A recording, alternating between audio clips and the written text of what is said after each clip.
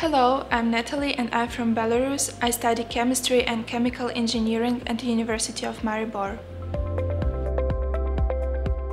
University of Maribor has a well-equipped library, so it was so pleasure to make some researches during my study.